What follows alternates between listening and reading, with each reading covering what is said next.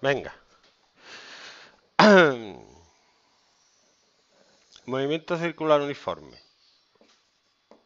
Tú imagínate que tú y yo nos ponemos a correr. Yo por aquí y tú por aquí. ¿Quién tiene ventaja? ¿Quién tiene ventaja? Yo, ¿por qué? Porque estoy más cerca del centro, tengo que recorrer menos espacio en el mismo tiempo que tú. ¿Por qué? Porque mi radio es este y tu radio es este. Todo esto. ¿Cómo? ¿Cómo? Sí, ¿no? Fórmula. El arco es igual al ángulo por el radio. Es decir, lo que tenemos que recorrer, el arco, es el ángulo por lo que mide el radio. Por eso yo tengo que recorrer menos que tú, que tienes un radio mucho más grande. Que recorramos el mismo ángulo, tú vas a tener que correr mucho más. De aquí sale una fórmula. Si el arco es el espacio recorrido y el ángulo es sigma, como hemos puesto, si yo divido esto entre el tiempo, me queda que la velocidad lineal es el ángulo entre el tiempo, es la velocidad angular por el radio. Qué bonito. ¿Cómo? Para demostrar de dónde sale esto. Además te pueden pedir cuánto espacio recorres. Si te piden cuánto espacio recorres y das, doy 5 vueltas a un circuito circular de 50 metros de radio.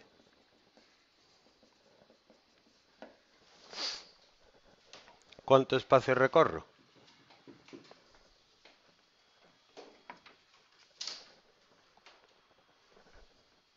Cada vuelta es 2 por pi por el radio. Sería 100 pi lo que mide la circunferencia. Y si doy 5 vueltas recorro 500 pi metros. Que son 1500 metros. ¿cuánto recorres al dar una vuelta de la rueda de tu bici? por ejemplo ¿cuánto puede medir la rueda de una bici de radio? 60 centímetros, por ejemplo, vamos a ponerle 60 centímetros. Pues el espacio que tú recorres, que es la longitud de la circunferencia, es 2pi por el radio. Sería 120 pi centímetros. ¿A cuánto es?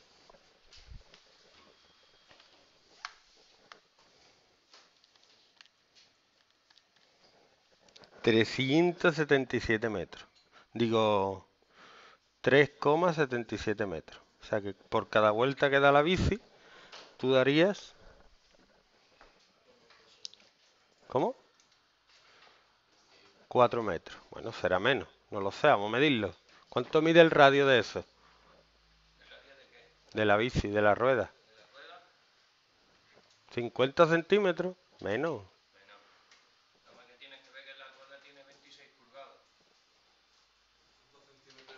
40, por ahí.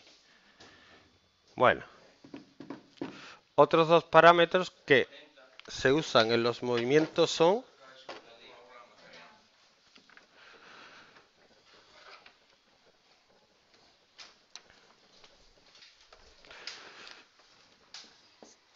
el periodo y la frecuencia.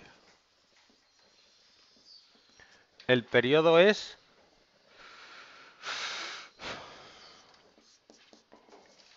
tiempo que se tarda en dar una vuelta. Y la frecuencia es vueltas por segundo.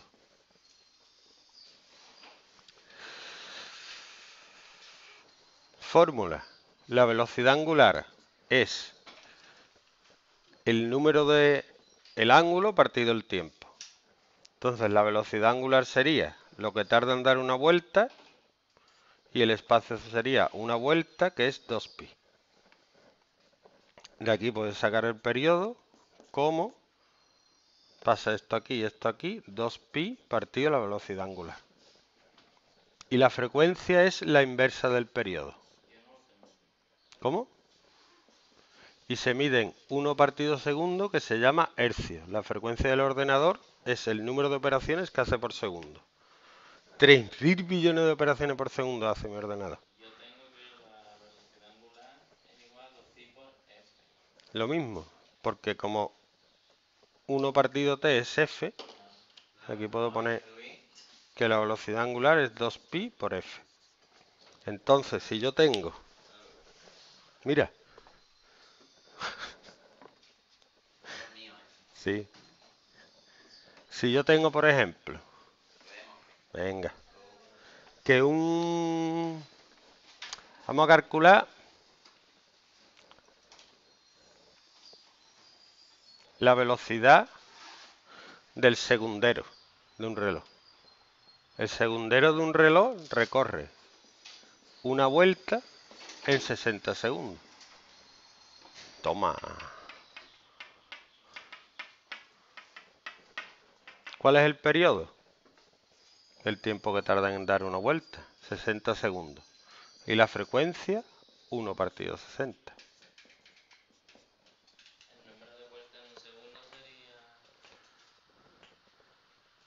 La velocidad angular el número de, vueltas por segundo, esto sería en radianes por segundo. Sí, pero si la hace con velocidad angular es igual a 2 pi por f.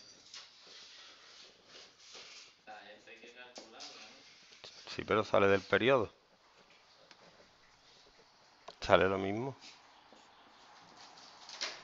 ¿Qué más? Frecuencia, periodo, velocidad angular.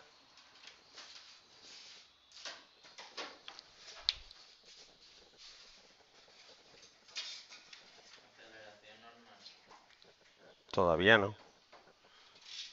Vamos, si quieres te pongo la fórmula. Un tío vivo de 5 metros de radio va a 6 revoluciones por minuto. Calcula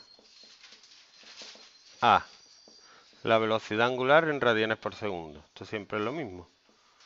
Más siempre te preguntan lo mismo. 6 revoluciones partido minuto por una revolución partido, digo 2 pi radianes partido una revolución por un minuto partido 60 segundos.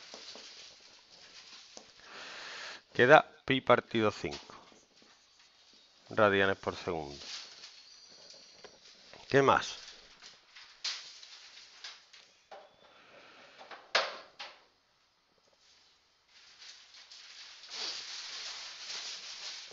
El periodo.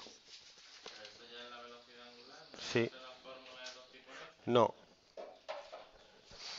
¿El periodo cuál sería?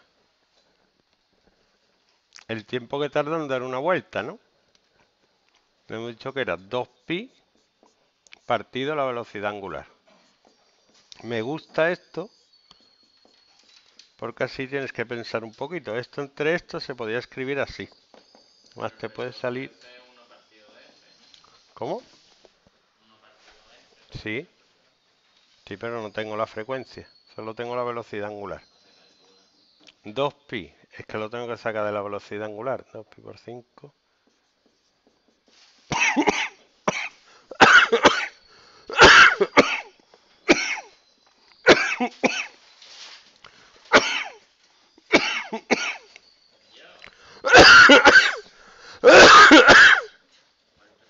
Muero. 10 segundos el periodo. Si da 6 vueltas en un minuto, una vuelta tardará un sexto de minuto, que son 10 segundos. La frecuencia. 1 partido 10, 0,1 hercios. Y ahora viene lo más bonito. De la velocidad lineal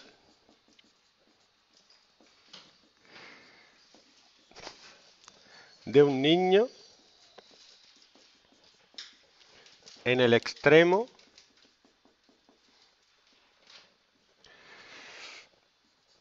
del tío vivo. Vamos, que está dando vuelta aquí. Pues la velocidad lineal del niño es la velocidad angular, que es pi partido 5 por el radio que he puesto que es 5. Qué bonito, me sale pi. No. Tengo rabo. Pi